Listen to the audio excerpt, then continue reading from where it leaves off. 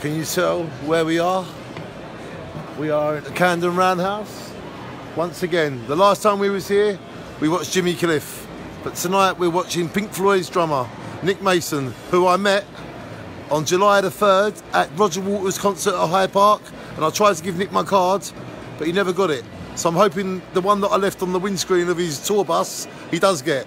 And I hope he watches my films because I'm a big fan. And I've always loved you, Nick Mason, and I've always loved you, Roger Waters, Syd Barrett, David Gilmour, Richard Wright, Pink Floyd, forever. Shine on. I'm a great big fan.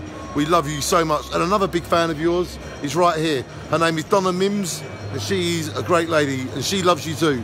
Shine on, Donna. And it's great to be here, isn't it? And there you go, ladies and gentlemen. Me and Donna are here. Donna, how does it feel to sing Pink Floyd's drummer? We met him, didn't we? And what was it like? We, we, we only tried to give Nick our card, didn't we? Just. But Nick, we left it on your, the windscreen of your lorry on your tour bus. So hopefully you would get it and watch my films and give and let Roger and uh, David know that I love you all.